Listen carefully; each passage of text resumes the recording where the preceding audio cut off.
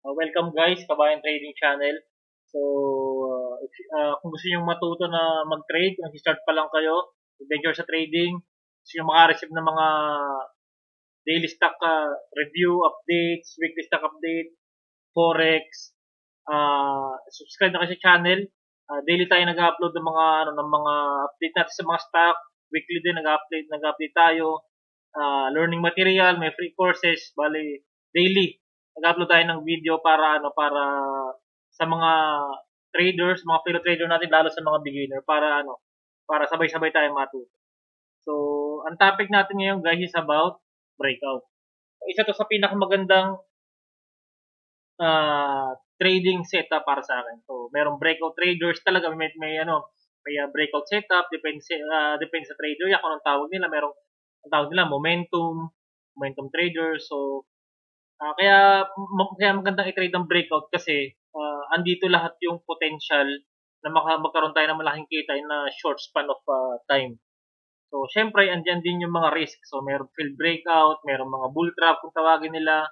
So, syempre, hindi naman lahat uh, ng breakout uh, kumbaga, ano, uh, magpa-profit ka. So, merong matatalo ka kasi mag, merong mga bull trap.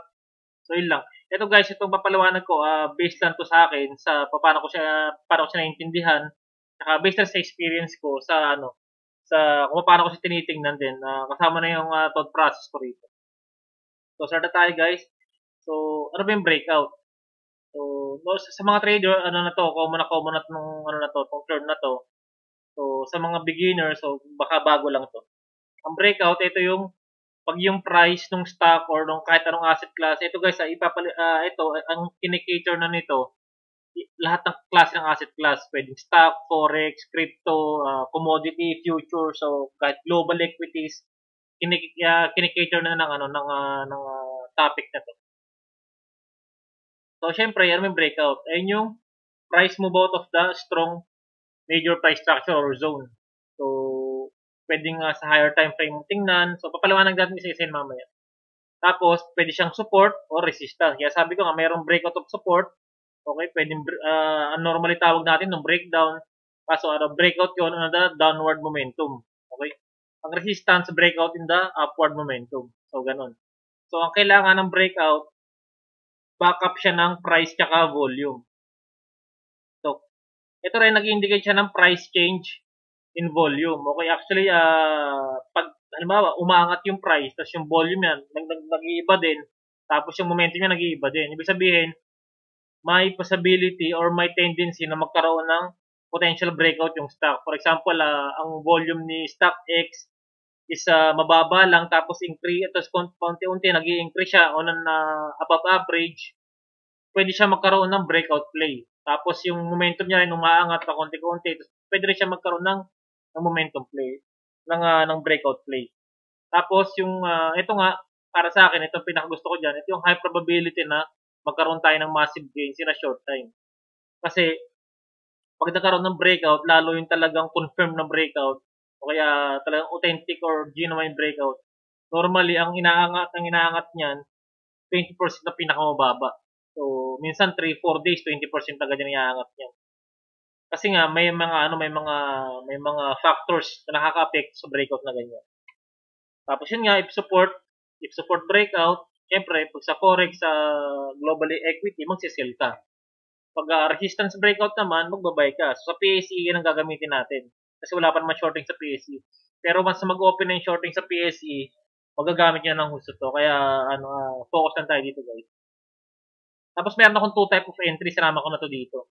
Siyempre, dalawang type of entry lang naman yan. Yung isang conservative, which is ito yung pinakagusto ko kasi uh, pag itong conservative entry na to, uh, naiiwasan natin yung mga potential bull traps. Uh, bali, yung conservative entry, yung pullback after the breakout. So, pag nag-breakout siya, nag-pullback siya pababa ng, ano, ng uh, resistance level, which is to become the support, yun ang parang potential sa akin. Pinaka-conservative at pinaka-safe na entry para sa akin. So, may aggressive entry din, yung sa on the day of the potential breakout, kasi pag inaral mo na yan, nakita mo na potential breakout nakita ko yung volume, yung momentum, may news catalyst, ibinababa mo ng time frame, naghahanap ka ng potential entry. So, on the day of breakout. So, pag nagkamali ka lang yan, bull trap ang aabutin mo. So, yun lang guys. Sana na-gets natin. Uh, tapos, yun na. Ito. Uh, how to potentially identify, okay, and trade a breakout. So, first, i-identify natin yung breakout. Siyempre, then, i-trade natin. Hindi mo tayo makakapag-trade ng breakout pag hindi natin na-identify. Itong parameters na to guys, itong parameters na to na nilagay ko rito, based lang to sa akin, sa thought process ko. So, kung may kulang pa dyan, pa-comment na lang sa baba, uh, sharing lang tayo rito, natututo ako na sa mga nagko-comment, natututo rin kayo sa, hopefully, natututo rin sa mga video. O may, kung may kulang, free, feel free to comment guys. Tapos yun, ang parameter ko kasi, una, look for a stock or asset class, forex or any other asset class that is nearing a major price zone. So, for example, kung paano kayo mag-plot ng mga major structure nyo. Kasi guys, i-identify natin yung major structure natin or major support and resistance sa minor structure. Kasi may, kaya nagkakaroon minsan ng mga false breakout kasi akala nila major structure na yung nabi-break, yung pala minor lang. Tapos, uh, yung pala sa ano, meron pa palang major structure na nakaligtaan nilang i-flat. Tapos yun, nangyayari, doon na bumabangga. Which is malapit lang. Close proximity lang sa pinag-breakoutan. Kaya, importante, uh, alam natin hanggat maaari, maganda yung plotting natin ng support and resistance para mas ma-optimize natin yung breakout na gagawin natin. So, yun nga, uh, nearing major price zones, pwede yung uh, i-consider nyo na itong 6 months. Siyempre, uh, price zone, ano yan, major price zone yan, 52 week, resistance or support, or multi-year support or resistance. Pero yung multi-year, napakabihira naman yan, guys. Again, lalo sa akin, ang uh, preference ko is I trade the future lagi uh, at least, para nga sa akin, 3 to 6 months, maganda na yan eh. 3 to 6 months. Kasi kung 6 months, medyo okay naman yan, mas malakas yan. Pero syempre, yung, uh, yung uh, frequency na makakita ka ng ganyan, medyo uh, hindi ganun ka hindi ganun kadalas, madalang na madalang. Lalo yung multi-year high or yung 52-week high.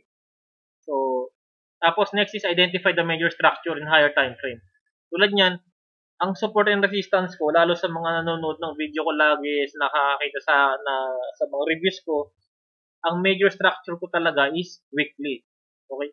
Uh, pero kung monthly, mas malakas. Pero syempre, yung monthly naman, tsaka lang ako nagkakaroon ng bias doon after end of the month. So, tulad nung nakaraan na August, nagkaroon tayo ng September, meron tayo na monthly.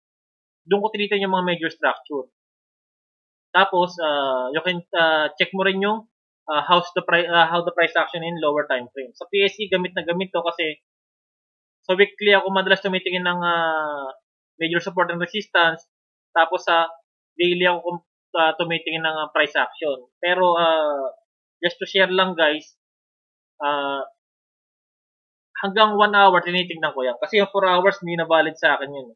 Kasi ilang oras naman bukas yung market. Bali sa, sa 1 hour ako tumitingin pag hindi ko pag hindi ko uh, hindi pa ako kontento sa daily, pag hindi pa napapakita sa akin na maayos yung price action na gusto kong makita, ini-stress yung hanggang sa 1 hour. So, yun lang, 3 3 time frames ang gagamitin ko, hindi na ako susobra diyan sa, sa mga time frames na Kung, kung, ba, kung ibababa ko pa, mag-iiba na kasi yung ano, mag-iiba na yung uh, setup na gagamitin ko pag ganun.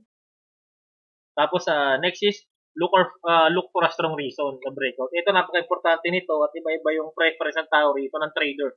So para sa akin lang ulit, para sa akin lang ang pinakamalakas na, na breakout catalyst is yung news driven or yung mga disclosure. Nakita naman natin yung paano lumipad si Now, paano lumipad si ISM, okay, paano lumipad si uh, si uh, KPPI. Siyempre, ano yan, uh, news driven yan, kumbaga ano yan, uh, uh, IPO, catalyst. Yun yung pinaka-catalyst niya. Uh, uh, speculation yun. Tapos yung mga naglalabas ng mga SRO, tulad ni Fane, yung bumagsak. Uh, yung mga tulad nung uh, ang, ang breakout naman sa sa support na nakikita natin, yung kay, uh, kay CHP, news catalyst yon kasi yung nag-IPO siya, pambayad ng utang, so ang daming pinasarang mga uh, parang factory ng ano, semento. Ayun, kaya siya bumagsak news driven. Tapos itong massive participation of institution kasi guys, uh, kailangan to hangga't maaari, uh, may experience ka na talaga sa market kung paano sila titingnan. Siyempre, iba't iba tayo ng pagtingin dyan. Pwede mong tingnan sa, meron yan tulad kay Investa, meron na ngayon na ano, yung uh, Jackie. Pwede mong tingnan doon kung sino namimili. Tapos kay sa mga, sa mga ano rin, sa mga broker natin, tulad ko kay Cole, meron akong tinitingnan doon uh, para makita ko yung participation institution. Bakit mahalaga yan, guys? Importante yan kasi hindi naman, again, hindi naman tayo magtutulak as retailers, hindi naman tayo magtutulak ng price. Sasakay lang tayo. So, so kailangan alam natin kung sino yung bumibili. Kung ano reason ng ba't nila binibili yun, kung gaano kadami na bili nila, gaano kadami na benta nila. So, tinitingnan natin yun. Medyo mahirap lang to, pero by experience naman, kayang-kaya nyo rin gawin yun. Tapos yun nga, uh, next one is, check if the volume is steadily increasing. Siyempre, kailangan natin sa breakout, may volume, hindi lang volatility.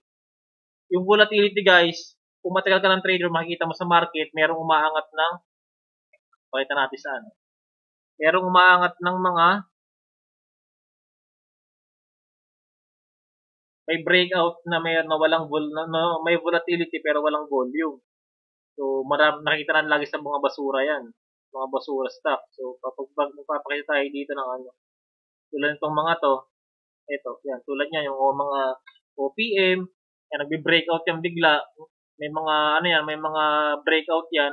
Ipapakita lang natin. Pero wala naman siyang volume. So, ano magiging ano mo dito? Ano magiging catalyst mo dito kung sakaling i-trade mo to? Diba? Tulad yan, wala nga halos eh. Bits na bits eh. So, wala nga to. So, ibig sabihin, meron siyang volatility. Meron siyang volatility tulad dito pero wala siyang ano wala siyang uh, wala siyang ano wala siyang uh, volume. Tulad nito itong mga ganito yung mga breakout na ganito. Kapag nag-breakout sila diyan let's say for example ito yung pinaka breakout po pinaka breakout point nila hindi naman na babaka pa ng volume niyan. Kasi ang ano lang yan eh kumbaga uh, meron lang siyang volatility pag angat pero wala siyang uh, bigat parang ganoon sa madaling sa madaling salita So kailangan tulad ng ano, tulad ng uh, tulad ng ng diniscuss natin, kailangan at least yung breakout mo may kasamang volume kasi ayun yung magtutulak eh. Ayun yung pinaka force mo eh. Kung may volatility wala kang volume, hindi rin magiging ano yan, hindi rin magiging uh, successful. Tapos syempre ito yung pinaka part, pinaka isa sa pinaka main part niyan, yung momentum is increasing. Okay, steadily increasing. Kumbaga, kung downward momentum siya, humahanap ka ng uh, uh, support breakout, kailangan increasing yung momentum. Hindi siya umaangat papunta sa ano, papunta sa upward momentum. Kailangan downward momentum lang. Tapos yun, ito, isa to sa pinakamalakas na ano, ng mga conviction, no? Pinakamagandang, uh, pin sa akin, pinakamalakas ng breakout play pag merong consolidation period. So, syempre, again, market phases, napakasimple lang. Meron tayong accumulation. So, ayun yung pinaka-consolidation natin. Tapos, pag breakout niya, advancing kung nakikita niyo yung mga part ng advancing, yung mga kung gaano kamasib yung galawan noon, hanggang 100%, 50 to 100%, 50 to 70%, gumagalaw yun. So, papakita natin ngayon sa chart kung paano tayo mag potentially mag-trade ng breakout. So, pakita na natin kay Fen. Isa to sa maganda si Fen kasi uh, kaya ito pinili ko uh, bukod sa ano nagkaroon siya ng magandang news, news driven to last time tapos may mga false ano din siya, may mga false uh, breakout na nangyari. So, dali natin nung time na nag-breakout si Finn. Ayan, ito. Isa lang to guys, so marami pa, may mga mayroon pang pip, so marami tayong pwedeng piliin, pero ito kasi yung pinakamaganda. Hindi ko na hindi ko halos matanda kung kailan nagkaroon ng news dito, pero dito na halos yun eh, area na to. Yan. Balik kung makikita nyo, Uh, kung makikita nyo itong uh, part na ito sa 1 peso ko yan. Dito lang tayo. Kung makikita nyo itong part na to, okay. Ito, multi-year na niya to. Uh, multi-year uh, resistance niya itong area na to. On time pa lang na to. Ayan yung multi-resistance niya. So, tingnan natin sa weekly para makita natin. Siyempre, ano naman yan guys, uh, zone naman yan. Doon yung tinitingnan natin diyan para ano, para mas uh, para mas malinaw.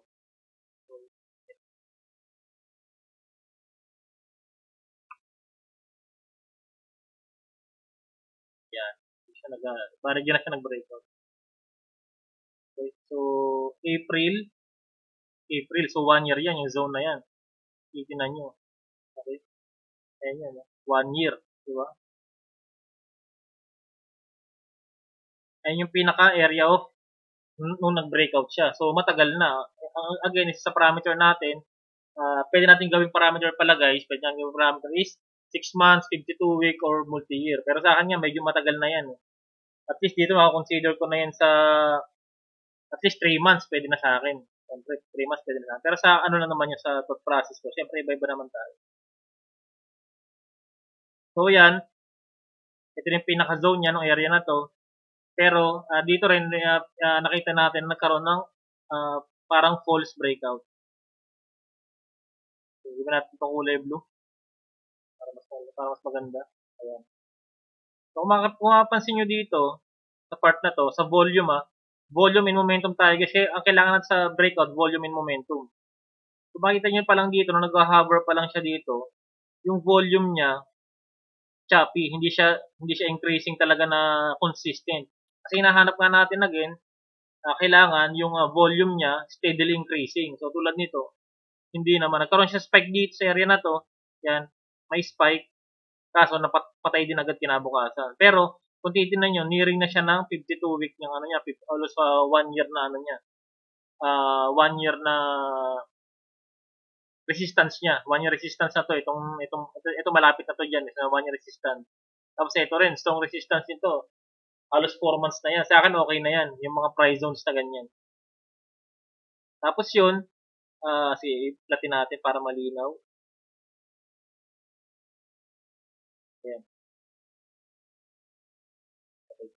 So yan, after nga nun, tapos deads na agad yung volume. Makikita naman natin. Tapos nag-spike uli siya dito. Which is breaking out na already nung uh, one year high niya. One year high. Uh, kung mapapansin nyo dito guys, meron tayong dalawang entry. Okay? Meron tayong conservative entry, which yung pullback nung after ng breakout, meron tayong aggressive entry. Okay? So ito, kung halimbawa na, kung halimbawa na, uh, na nasa watchlist mo to nung time na to, na umangat siya kasi nga, hina, tinitingnan mo rito is yung 52 week high, nirinig siyang 52 week high, tapos uh, confluence pa yan dito sa ano sa 4 months high niya. So malakas na catalyst yan. Tapos nag-spike ng volume. 'Di ba? Nag-spike ng volume. So more or less 52 week high na to eh. 100 ah 52 week high na to, eh. hindi lang natin na-check pero tingin ko 52 week high na 'yan. Nag-spike siya, kung aggressive entry ka, okay lang naman 'yan, makakabili ka na diyan. Siyempre, ibababa mo ng time frame, at least uh, para saan ulit, 1 hour, baka makapag-participate ka na once na nag-breakout diyan kasi makita mo na ano yan eh. Makita mo na malamang to nagkakaroon na ng bounces, magkakaroon na ng mga slight pullback dito area na to, 50%, tapos yun na, pwede ka na mag-entry dyan kasi nakita mo nag, na pullback na, umangat na ulit. 10% nga lang ang ano ang ang, ang, ang ginawa niya potential range. So bakit ba 10% lang? Nakita niyo naman pagka breakout niya kinabukasan patay agad. Ito, itong volume na to. So hindi siya continuous. Tapos nag-spike uli siya kinabukasan, pero yung momentum niya nung umangat dito, ito yung nung umangat dito sa momentum na to, okay, hindi niya na na-hold, nag-decline agad siya. Tapos na-hold niya ulit, na-hold niya pa naman on the next day, kaso yun, pagbagsak, breaking na to. Kumbaga, ano to, uh, failure swing. Failure swing high na yung nangyari dito. Ito medyo ano lang to guys, uh, depende sa inyo kung paano titingnan. Pero ito, failure swing na yan. Failure swing high. Okay? Breaking out. Ibig sabihin, pag breakout niya dito, bumaba ulit, tapos umangat siya, okay naman sana yung break niya kaso yun, pagbaba niya ulit, ang break niya na yung pinaka pinaka support mo sa ano sa RSI. Okay? Ito na kasi yung initial support mo sa RSI, papakita natin para mas okay. Uh, okay. Ito yung nag-spike siya. Okay guys? Nag-spike yan dyan. First spike, kasi ito pangalawa, bumaba, nag-hold. Ang ganda na sana ng breakout nito kaso yun, pagbagsak niya, dire-diretso na. So ay natin makakita ng at least ng ganyan lalo sa over uh, sa ano, mga sa pag above 70 RSI na kasi kailangan natin we need to keep the momentum. Kasi pag hindi babagsak siya. Eh. So yun nga nangyari, dumire-diretso siya. So kung aggressive entry ka, malam kung hindi ka nakapag-set ng trail stop mo, malamang napakatlos ka dito. Ang laki-laki niyan. Kaya ang, ang mag, uh, mas, uh, mas uh, conservative entry para sa akin is yung retrace, retrace ng uh, retrace ng o pullback from the breakout.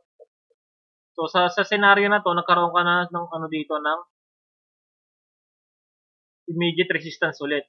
Okay? Kasi pagbaba niya, nagkaroon ka ng support dito, bumabagsak, nagkaroon ka ng immediate support, nagkaroon ka ng immediate resistance sa taas. So ngayon papakita natin yung succeeding na ano, succeeding na succeeding na, vo- na volume. Ito kung makikita niyo to guys, itong area na to. Ito.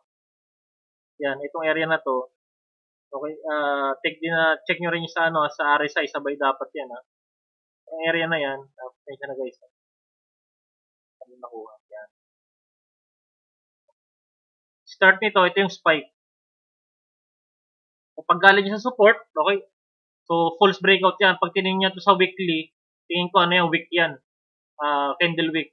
Ngayon, an- bali ito pa rin yung pinaka ano natin, pinaka valid uh, ano natin, breakout point. Kasi ito nagano lang to eh, nag bull trap lang to eh. Pero importante pa rin yung ano na yan, yung area na yan para sa akin. Kasi pwedeng mag another week fill lang yan, i-fill lang yung area na tapos bumaba ulit. Kung makita nyo ito, mula dito sa candle na to, pag, paglabas ng uh, green candle na malaki, nagkaroon na ng Try natin. Nagkaroon na na siya ng ng uh, ng uh, volume, volume spike. Nagkaroon siya ng volume spike. Makikita niyo ayan, no? itong area na to. May volume spike na yan kasi napakababa niyan. So bigla siya nag-spike dito sa area na to. Tapos na-maintain niya yan habang unti-unti siyang umangat, guys. Pansinin niyo, hindi na, na hindi na bumaba yung volume niya. Steady na yan in 4 days na may maintain niya na may yan. Nag-try ulit siya magano, pagka-breakout niya, tapos nag-try siya dito, kaya nakita natin, importante itong area na to.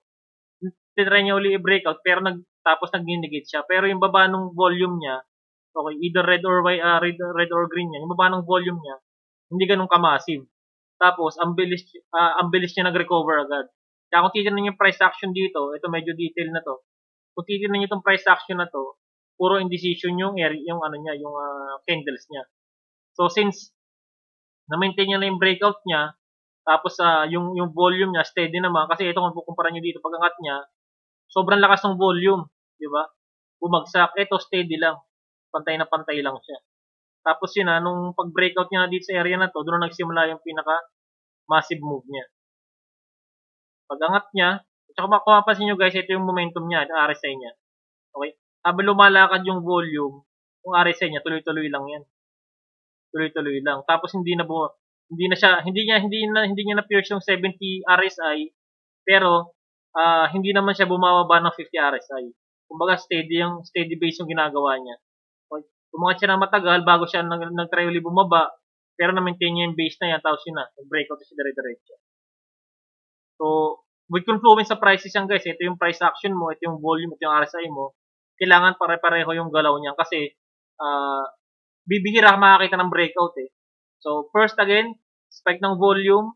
After 4 days, maintain yung volume. Nagkaroon ng slight, uh, ano, slight retrace. Dito pinakamagandang kumuha ng ano, dito pinakamagandang kumuha ng uh, ng entry point kasi nagkaroon siya ng ano eh, nagkaroon siya ng uh, kumaga pumahinga yung price, okay? Nagpahinga yung price diyan.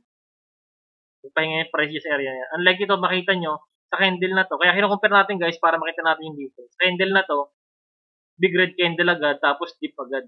Dito, pumapahinga siya, pero yung volume niya, dire-diretso, puro green, puro buy, uh, puro buying ang ginagawa. Tapos yung momentum niya, paangat. Tapos yun nga, after nun, yun na yung pinaka-breakout niya.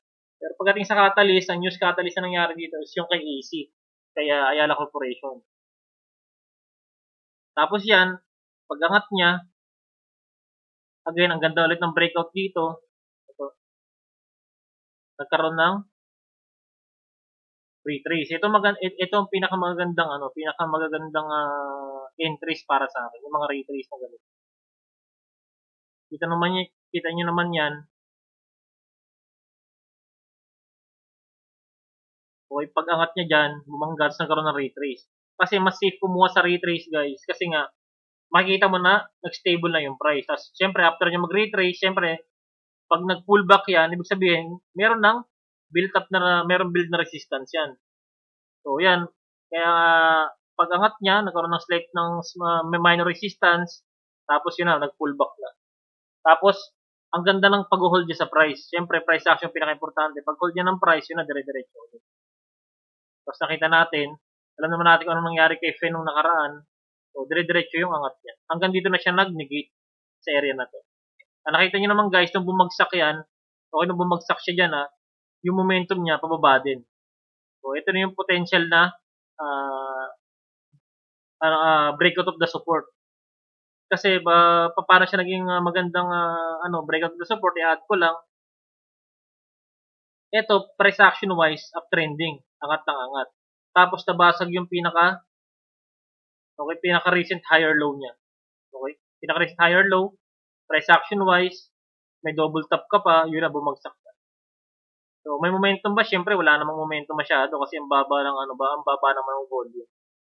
So, uh, yun, ayun yung paano mo iti-trade yung uh, breakout. Siyempre, uh, ano yan, uh, through experience, maano mo yan, matututunan mo yung unti-unti. Kailangan naka-align yung price action sa volume tsaka sa momentum. Yung sa lower time frame guys, hindi ko na napakita kasi pag binaba natin ang lower time frame sa kay sa PSE, medyo magugulo yung ano, yung uh, yung chart. Hahanapin pa natin. So, i-try niyo i-backtest yan. So, ito additional to. So, how not to trade the breakout. Okay, ito yung mga kailangan nating iwasan. Yung fast or quick breakouts or yung mga parabolic, uh, hindi siya strong breakout kasi wala siyang base na ginawa. So, mga 3 days yan umangat, alam naman natin kung, ano, kung ano yung mga parabolic, 3 days yan umangat, tapos after 2 days, dead sagad yan. So, kailangan, pag yun ang nilaro mo, momentum ka lang talaga. Purely momentum. Ibig sabihin, pag nag-momentum, may volume tsaka volatility magkasabay, tapos pag angat niya, uh, one or two days, benta ka agad. Siyempre, hindi naman uh, laging ganun. May mga parabolic na talagang continuous. Pero karamihan, normally, hindi siya hindi talaga siya naglalast. Alam natin, alam natin, alam ng mga trader yan. Tapos yun, pag walang strong reason or catalyst for breakout. Kung nag-breakout lang siya, wala namang news. Kasi, ito lang guys, news driven ang malalakas na breakout para sa akin. News driven talaga wala namang news. Tapos, uh, kung sa institution, tingnan mo parang konti ng participation, balance sa balance. So, mangyayari lang doon, liquidity grabs lang ang mangyayari doon. So, ingat tayo sa ganun. Tapos yun nga, yung sinabi ko kanina, meron siyang high volatility, pero wala namang volume. So, marami marami na, na natatrap sa ganito, lalo yung mga nagsisimula. Nakita nila umangat ng 10%, nag-participate sila kasi akala nila ceiling play pero hindi na-reject nila yung volume, wala pa lang volume. So, importante yun. We can, uh, as a trader guys, kailangan natin ng volatility, volatility at volume. We need volatility for uh, tradable ranges. Kailangan natin yun. Kailangan natin ng volume para makapag-liquidate. Makapag-liquidate tayo ng mabilis. Tsaka marami nagka-participate pag ganun. Tapos yun, isa pa, last lang is don't base on lower time frame. Okay? Ang breakout natin lagi sa higher time frame. Uh, ina-advise ko yan. Kung gagamit ka ng daily, kung, kung yun ang pinaka-base time frame mo, uh, try mo tingnan sa uh, one hour yung ano, yung mga yung mga triggers mo. Okay? Hindi ka pwede maglaro ng uh, ng uh, breakout sa one hour kasi kailangan daily. Gawin nating uh, logical yung yung approach natin. So, yun lang guys sa breakout sa amin nakuha kayo. Pag medyo nalilito kayo, alam ko medyo mahirap to intindihin kasi inisip ko rin kung paano ko maiano, mai, mai, i-imply o maipapaliwanag sa madali So, hindi ko alam kung madali yung para na pagpaliwanag ko. Comment na kayo sa baba ng mga tanong. Uh, and uh, happy trading. Last day na ng trading mamaya. Uh, sana boss buwasan, boss buwasan natin yung exposure natin. Thank you and God bless.